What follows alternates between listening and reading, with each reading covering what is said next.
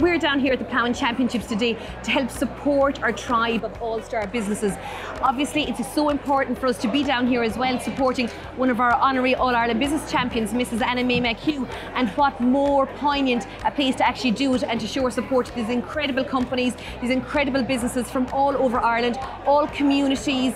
Um, the people are travelling internationally, they're here, they're at home and they're abroad, and what, what a day. The weather is fantastic, so much better than it was last year. The smiles are on the faces, but most importantly, people are here and they're so proud of what they do. They're so proud here to promote their businesses, and we're here to instill that sense of pride in our business all-star companies. We've been around to EW Technologies, to Cormac Tagging, to Briody Bedding, and these are all companies that have gone through the Business All-Star accreditation process.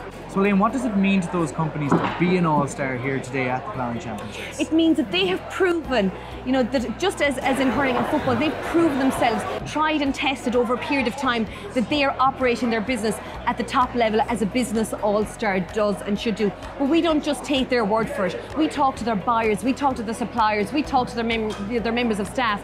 But not only that, I think what is the best part or piece in the puzzle is that they're mystery shopped.